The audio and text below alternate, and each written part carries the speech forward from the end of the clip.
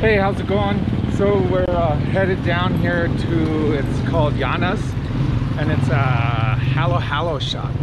It's the uh, Filipino kind of sundae specialty thing, and this is supposed to be a really good shop for it.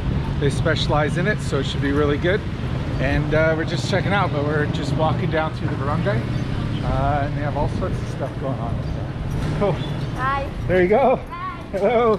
Right on. So it's down here on the left, I think. Hi. We'll check it out. Hey, boys. Hey, boy. All right. Hopefully.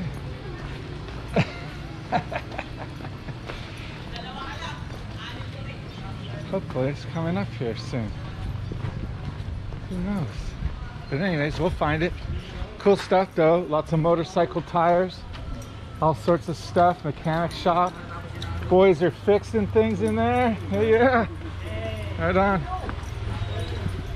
And hopefully we'll run into this Halo Halo shop down here.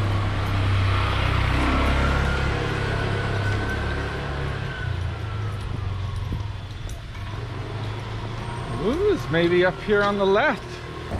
Hey, how's it going? I'm here with all the kids in the neighborhood. They hooked me up and brought me to the Halo Halo shop. So I'm gonna be getting my first Halo Halo here in the Philippines and it's being made right now. Wanagi, you want some Halo Halo? No, she doesn't want any. Say hi, you guys. On? Thank you so much. Look at that. Oh my God, look at that. We're gonna try that. Mix it. So you mix it really good, yeah? Yeah, mix. So we're gonna try this. Give me a second. Thank you so much. Okay, so I'm almost out of batteries. So we just mix it, yeah?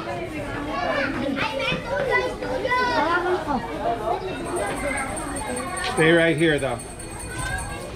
All right, so we're gonna give it a try. Oh my God, so good. Oh my God, that's really good. Wow. My first halo halo in the Philippines. Amazing. It's got all sorts of bits and pieces in there, nuts, oatmeal, looks like crushed ice. There's pieces of chewy fruit. Oh my god, so good. Right on. Camera's almost done, the batteries are almost done. But we'll be back. We're gonna go try another place too. Hey, so how's it going? So we're treating all the kids to a little photo. Right on. Yeah, It's even his little Wanagi's treat for everyone. Uh, she's going to sponsor this one for them all. So it'll be good. And then we're going to get ourselves another Halo Halo here. Uh, but I'm going to cut out because battery's going to die. Thanks for joining us. If you're new to my channel, make sure you hit the subscribe button, hit the little bell, and get notified of future videos. And then leave comments down below. I'd love to hear from you. Peace out. So we got our second Halo Halo because they're so good, amazing. But look here, Wanagi, you want some? Look, she even likes that stuff, right? Right? So that's that's Wanagi approved Halo Halo. Say hi, everyone. Hi. Right on. All right, we're out. We're gonna eat this thing. See you in a bit. So I bought them all ice cream, and now they won't go. They're following me home.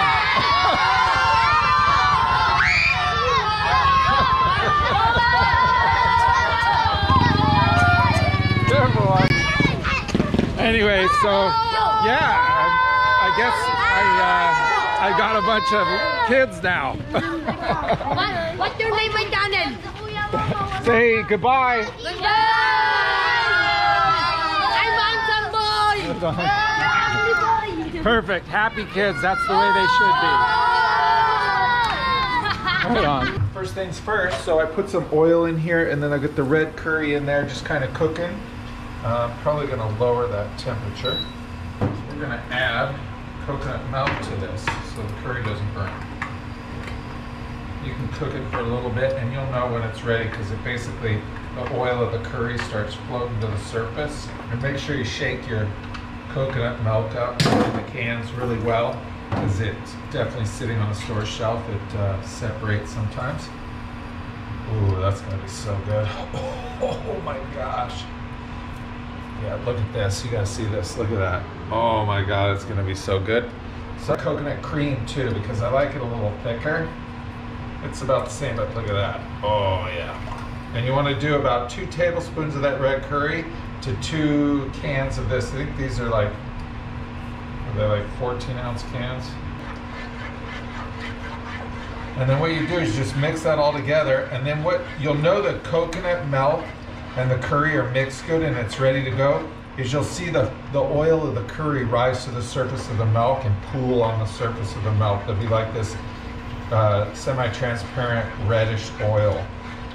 And then you know the fragrance of the curry has saturated the oil basically. So then the next thing we're gonna do is get the veggies ready. So I just want to show you this. Look, you can see see the little orange spots around there. I think you can see them. That's the uh, the oils from the curry coming up, the red curry. I'm gonna make sure we keep stirring this every now and then so it don't burn. I got it on pretty low heat though. Start off low and then I'll ramp it up here. But just give them a good rub down any pesticides they might have used or dirt that's left on the carrots. I'm not even. I usually do carrots and bell peppers, usually the reds, but I got a green and a red I'll probably use. And then I got some green beans and I've got some basil too I'm gonna put in there near the end just to really kick it up with some flavor. And then we'll just use this and we'll actually, I'm gonna just fill this bowl with carrots. Then we'll just uh, use use the the this brothy stuff with the vegetables in it and just add it to rice here and there. And it'll probably get about four or five meals out of it, I'm sure. So it'll be healthy and good and tasty and save some money. I mean, yes, it costs money to get all this stuff, but in the long run, actually probably don't save that much money because if I went locally, it's so cheap here to eat. Oh my God. Like literally $2 for a pork chop, some rice and gravy basically. I forget what it's called, but it's really good. Chopping carrots!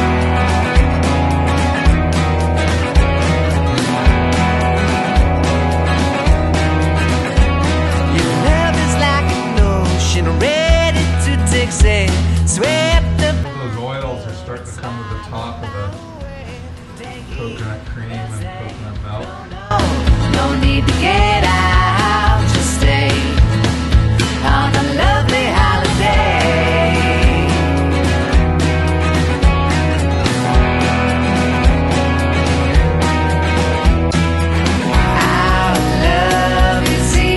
So we've chopped up all our vegetables. We've got the green beans and then the red bell peppers in this, a ton of carrots.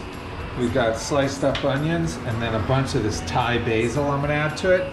And then I've already put the chicken down in there and I'm just gonna let the chicken cook in that coconut milk and the uh, red curry paste for a little bit. And then we're gonna add some raw sugar. This is raw sugar right here.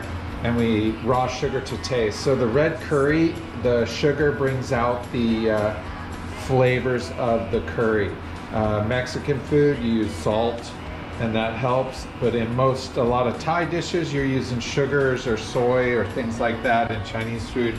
And that really bangs out the flavors of the spices. Indian food, again, uh, they use uh, sugars in Indian food and then also uh, salts and stuff to bang the flavors out of the masala. Like chai, chai wouldn't taste good if you didn't add sugar to it because there's just the the flavors of the spice just don't come to the surface without the sugar. Anyways, that's my story. I'm sticking to it. We'll show you step by step as we go. Hey, also, see I got a haircut today? How cool is that, huh? Look at that. Got a haircut. Woo! Looking pretty sharp there. Got a haircut. Guess how much my haircut cost? Guess. 200 pesos. That's roughly $4 for a haircut. Here. That's for men and women. Crazy. Oh my god. I gave him 300 pesos because he did such a good job and I was so stoked to pay so little bit of money for a haircut. So basically, it cost me six bucks for an awesome haircut. Um, pretty stoked. Anyways, yeah. So we want to start adding the onions. They'll be next, and the carrots because they'll take the longest to cook. But the onions will add to the flavor of the chicken, and then we'll add the sugar. It'll be at the very end once everything's cooked down because the sugar won't take long to cook. The chicken's almost cooked. It's cooking in the coconut milk and the coconut cream, and then the red curry paste that I put in there. Um, so we're gonna probably, the carrots are gonna take the longest to cook. So we're gonna add those carrots. And then the onions, we want them to cook down and get semi-translucent. Woo! Get in there, onions. There we go. Awesome, awesome, awesome.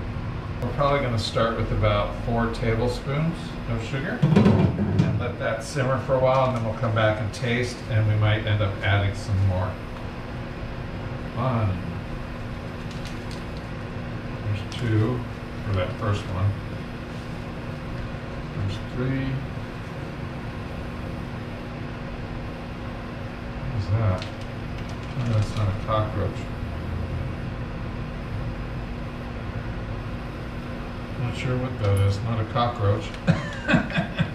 hey! A little extra protein in there? No, it wasn't a cockroach. This sugar hasn't been opened. It was probably just a, a piece of or something that hadn't processed. Oh yeah, that chicken's cooking good in there. So here, we'll check it out. It's looking pretty good. Got the onions down in there.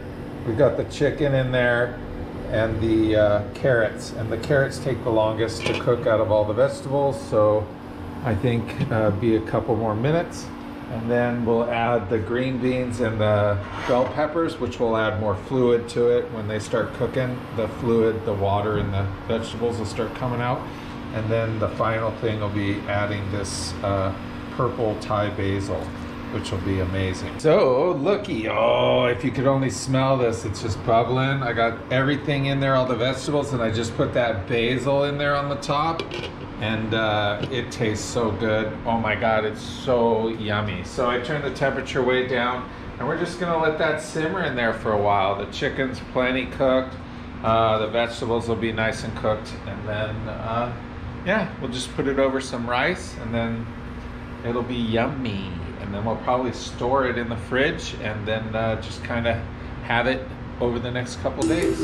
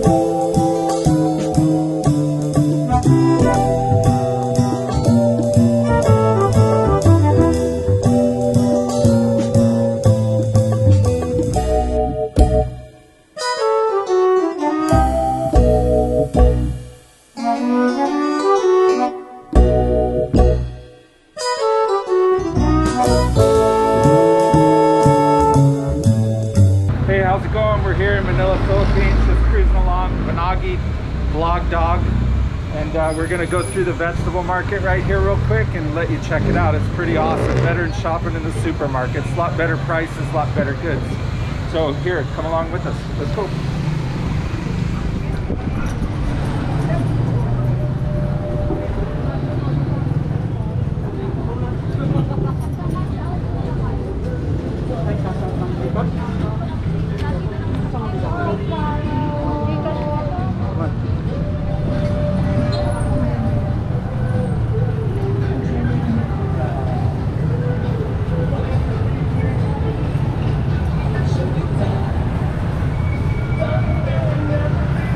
on? Billy here, what's going on?